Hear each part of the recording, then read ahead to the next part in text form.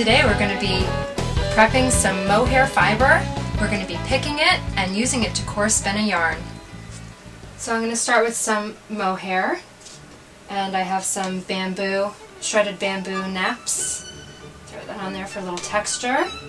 This is some lime green merino that I dyed and some sparkle.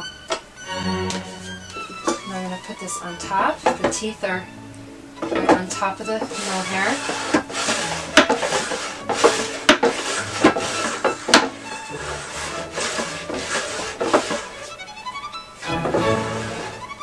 Do this twice, sometimes maybe three times, depending on how dense the locks are.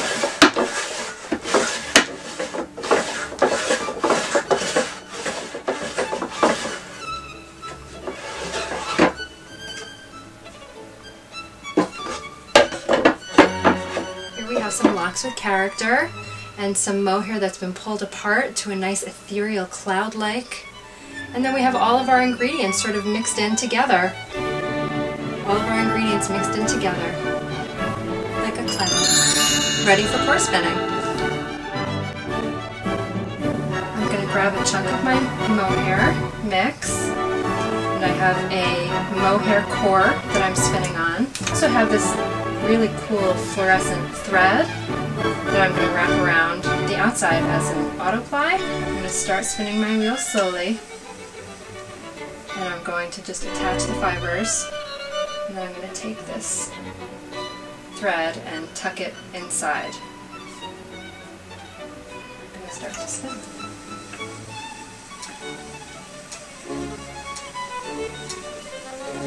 I'm pulling at 90 degrees and I'm not being too fussy about drafting because I want all that texture.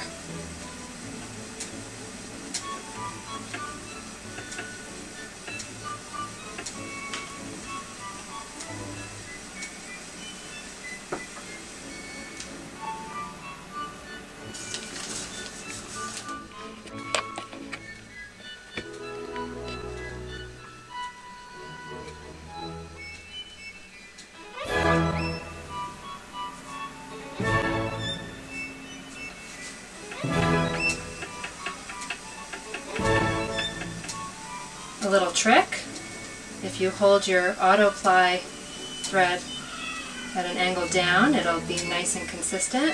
If you go up, you'll get it wrapped all in one little spot.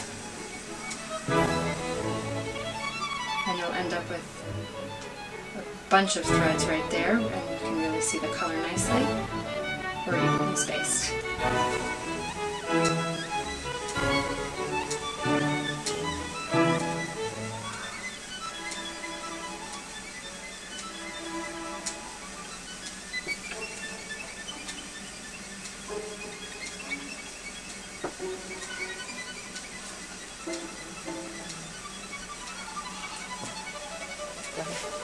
And if I'm going to take a break, one thing I like to do is I spin up my wool and I take a clip and I clip all three things together and just leave it in the orifice. This way I don't get a big tangled mess when I come back.